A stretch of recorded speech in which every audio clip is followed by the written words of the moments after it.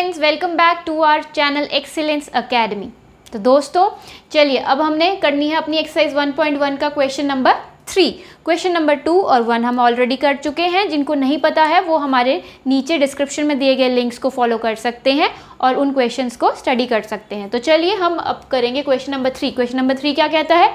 An army contingent of 606 members ये values है हमारे पास.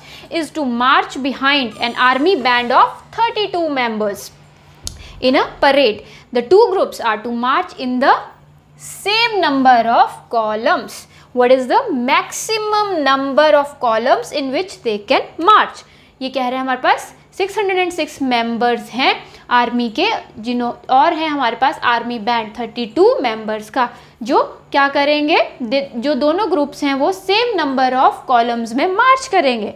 तो मार्च करने के लिए सेम नंबर वो कह रहा है मैक्सिमम नंबर ऑफ़ कॉलम्स बताइए। अब हमें पता है मैक्सिमम नंबर मींस हाईएस्ट कुछ निकालना है। मींस जैसे एच सी एफ़ कैलकुलेट होगा highest common factor means six hundred and thirty two इनका हमें क्या निकालना है? एच सी एफ़ क्वेश्चन में किस इस तरीके से स्टडी करिए ता, ताकि आपको पता लग जाए कि हमने क्या निकालना है। देखिए एक तो मैक्सिमम वैल्यू चाहिए of columns in which they can march अब दोनों बताना है कि दोनों जो मेंबर्स हैं हमारे army six hundred and six member army के और थर्टी टू मेंबर्स हैं परेड वाले।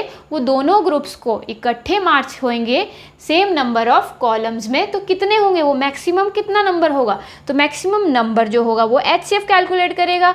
तो चलिए अब हम इसकी सोल्यूशन में हम फाइंड करेंगे एच सी एफ़ लिख सकते हैं हम to calculate maximum number of columns, maximum number of columns. We will calculate HCF of 616 and 32 तो सबको पता है HCF कैसे कैलकुलेट किया जाता है? अभी हमने पुरानी वीडियो में देखा है HCF कैसे कैलकुलेट करते हैं? यूजिंग यूक्लिड्स डिवीज़न लेमा या algorithm, Euclid's division algorithm use करके हम कैसे फाइंड आउट करते हैं? यूजिंग यहाँ पे आप लिख सकते हैं, यूक्लिड्स डिवीज़न एल्गोरिदम। कैसे? हमने देखा six one six is greater than thirty two so हमने इस पे यूक्लिड्स डिवीज़न एल्गोरिदम जब अप्लाई किया तो हमें पता है सिक्स हंड्रेड एंड सिक्स जब हम डिवाइड करते हैं थर्टी टू में क्या मल्टीप्लाई होगा? इंटू नाइनटीन प्लस हमारे पास रिमाइंडर कुछ बचता होगा एट ये चीज़ आप अपनी रफ में डिवाइड करके देख सकते हैं।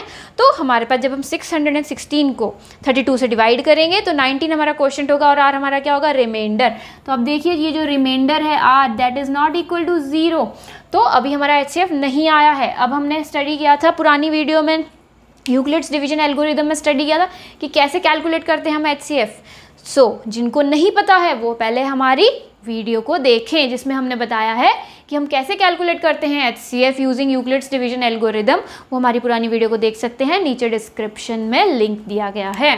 तो चलिए अब दो वैल्यूज़ को उठाएँगे 32 और 8 32 हमारा डिवाइज़र है इसमें और 8 रिमाइंडर है। इन दो वैल्यूज़ को हम नेक्स्ट के लिए जब उठाएँगे तो अब देखेंगे 32 is greater than 8 this is greater than eight तो अब इस पर क्या अप्लाई होगा? इस पर अप्लाई होगा अप्लाई यूक्लिड्स डिवीज़न लेमा या एल्गोरिदम कह सकते हैं ई डी ए मैं साथ के साथ बोल रही हूँ यूक्लिड्स डिवीज़न एल्गोरिदम जब हमने अप्लाई किया तो थर्टी टू जब क्या हम क्या करेंगे? एट में कितना मल्टीप्लाई करेंगे? थर्टी टू आए।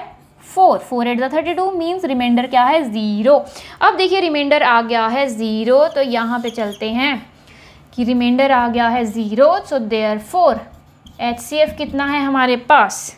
जो हमारा डिवाइज़र होगा, उसमें वो हमारा एच सी एफ़ होगा।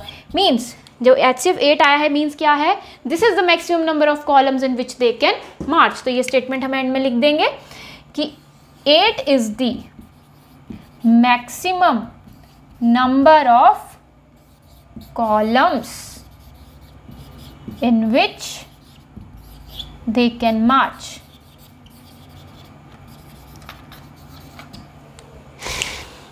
समझ आ गया होगा? बहुत ही ईजी क्वेश्चन था, बस थोड़ा सा स्टार्टिंग में ट्रिकी लग रहा होगा बट कुछ भी नहीं था, सबसे ईजी क्वेश्चन था। कितनी मिनट में? दो सेकंड या दो मिनट में कैलकुलेट हो गया हमारा एच सी सो दोस्तों, जिनको हमारा चैनल बहुत ही बढ़िया लग रहा है, वो अभी भी कह रही हूँ लाइक करें सब्सक्राइब करें और कमेंट करें। कमेंट करना ना भूलिएगा, ताकि हमें पता लगता रहे कि आपका रिस्पांस कैसा है, या आपको हमारा चैनल कैसा लग रहा है। अगर कुछ हमें चेंजेस लाने हैं तो ज़रूर मेंशन करिएगा। अगर आपको नहीं कुछ समझ आता है तो वो भी मेंशन करिएगा, या कोई क्वेश्चन आपको पूछना है तो वो भी आप हम कमेंट के थ्रू हमें पूछ सकते हैं। तो दोस्तों please subscribe our channel thank you